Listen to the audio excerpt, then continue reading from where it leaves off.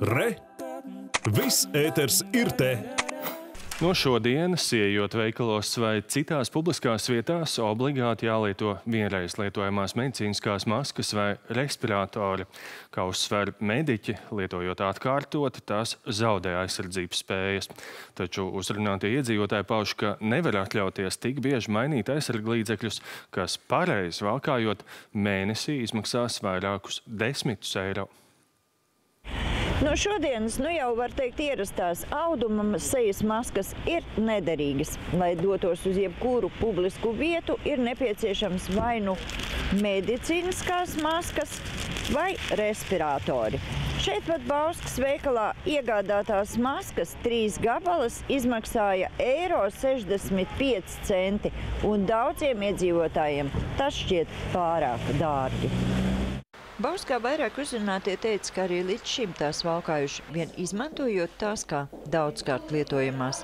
Cits nebija mums tikai medicīniskas maskas. Cik bieži mainiet? Bieži. Nu, cik tas ir bieži? Nu, kaut kur nedēļa četras reizes.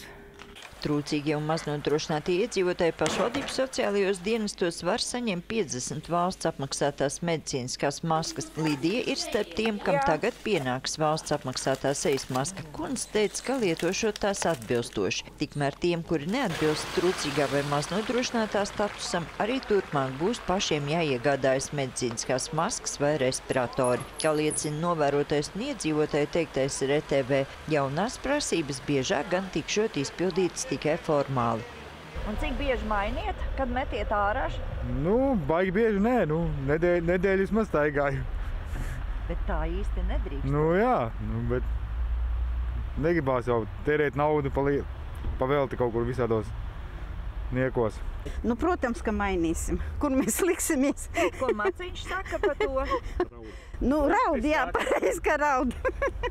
Nevar jau tik bieži pareizi mainīt. Nu, kā sanāks, tas sanāks. Rīgas Stradiņu universitātes darba drošības un vidas veselības institūta direktors skaidro, ka jūkstoša vienreiz lietojamo masku vai respiratoru valkāšana nenodrošinot aizsardzību ne sev, ne citiem.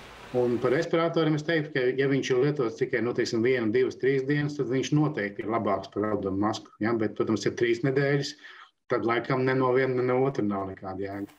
Un, ja mēs šo respiratoru vienkārši katru dienu viņam elpojam virsū siltu, mitru gaisu, tad, protams, ka tā, nu, tās viena, divas, trīs dienas tur vienkārši sāk augt uh, viss, kas nu vispār var izaugt. Ja? Un, protams, ka mēs paši sev papildus lieki nevajadzīgi apdraudam. Starp uzlikšanas reizēm respiratoru nedrīkstot glabāt potlēnu maisiņā, kas esot vislabākā barotne mikroorganismiem. Savukārt medicīnisko masku atkārtot lietošana nesot pieļaujama.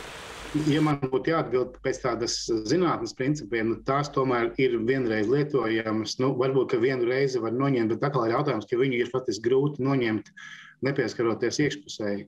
Tas, ir, tas ir viens arguments. Un, un arī, viņām arī ir tiešām atšķirība. Ir, ja skatās um, uz, tām, uz tiem filtriem, nu, viņiem tas filtrs ir vienkārši daudz, daudz plānāks, kas nozīmē, ka viņi arī ātrāk tas filtrs zaudē savu filtrēšanas spēju. Pareizi lietojot medicīniskās maskas vai respiratorus vienam cilvēkam mēnesī, tās var izmaksāt vairākus desmitus eiro. Sandra Leitāna, Andrs Pāns, RTV.